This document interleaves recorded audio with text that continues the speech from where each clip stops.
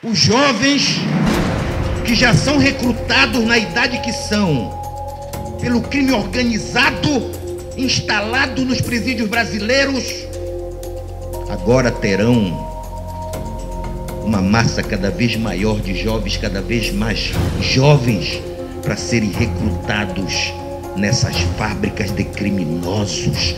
Baixa popularidade, seu presidente, não pode ser enfrentada com deposição de presidente.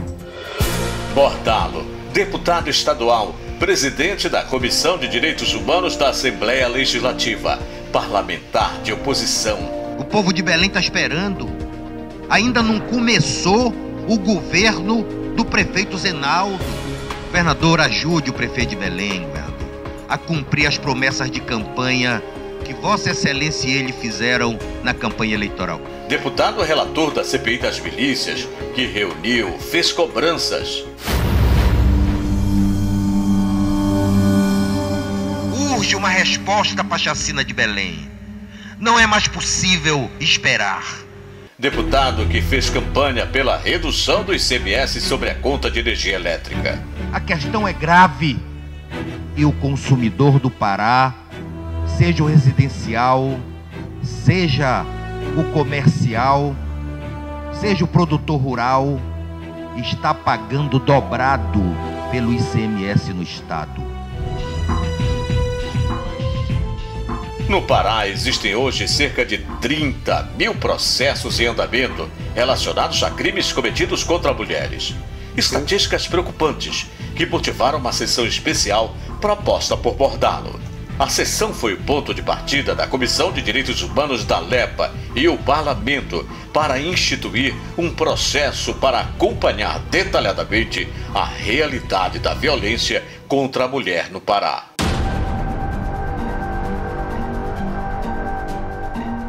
Violência debatida em sessão especial realizada no plenário da Assembleia Legislativa. Está na hora do Pará reagir.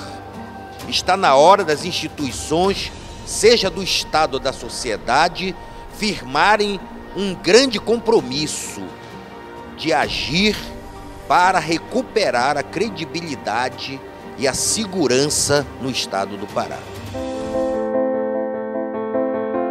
Comunidade Cubatão e Coraci. 310 famílias lutam pelo direito à moradia. A Comissão de Direitos Humanos intermediou o debate com a Coab e provocou o Ministério Público. Hoje, as famílias que viviam em situação de risco no Cubatão têm onde morar dignamente.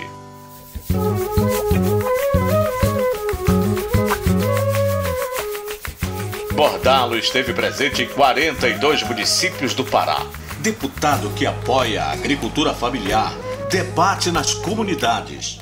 Se eu tivesse que resumir o problema principal, sem desconsiderar os outros, de toda essa região, das comunidades que se reuniram no Quianduba, eu diria, segurança pública.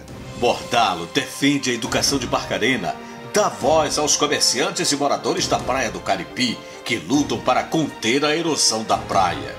Defende os municípios do Pará. O governador precisa saldar a dívida com os municípios no plano da saúde. É 400 mil em média, esta dívida para os municípios até 30 mil habitantes.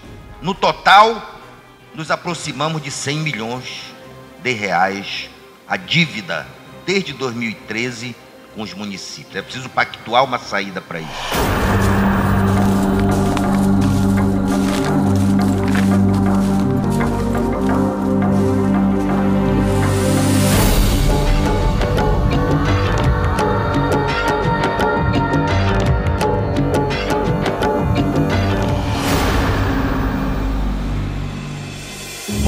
Bordalo visitou o lixão do Aurá. Conheceu de perto a realidade das famílias que ficaram sem trabalho, sem renda e sem perspectiva após o fechamento do aterro sanitário. Os catadores não são lixo e não podem ser tratados como lixo. Os catadores e suas famílias, especialmente as crianças e os jovens, são pessoas humanas. Como tal, precisam ser amparadas e protegidas. A Comissão de Direitos Humanos agregou parceiros para a inclusão dos catadores no mercado de trabalho, oferecendo cursos profissionalizantes.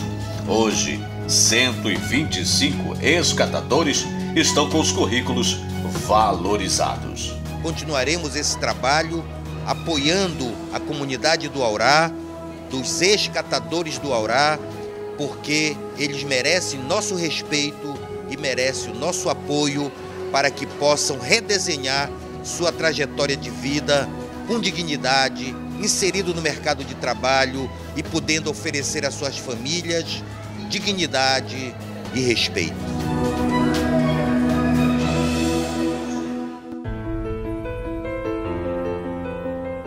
Feirantes mobilizados contam com o apoio de Bordalo. Bordalo defende a causa dos moradores atingidos por alagamentos em Belém. Vitória dos lotéricos com o apoio de Bordalo garante o social. Bordalo trabalha para a criação do Programa Estadual de Proteção aos Defensores dos Direitos Humanos do Pará. Precisamos, imediatamente, o mais rápido possível, estabelecer uma política estadual de proteção aos defensores e promotores de direitos humanos. Foi formado um comitê, um grupo de trabalho e coordenado pela Secretaria Extraordinária de Integração de Políticas Sociais, na figura da secretária Isabela Jatene. Desta forma, nós demos um grande passo, um passo na direção de assegurar nesse Estado a integridade de todos e todas que lutam e trabalham para promover a vida humana, para promover o direito, para garantir efetivamente uma vida digna e humana para todos os paraenses. E elabora o projeto de lei que tem como proposta a criação de um fundo para erradicar o trabalho escravo no Pará. Quem promove e defende direitos humanos tem seu trabalho reconhecido por Bordalo.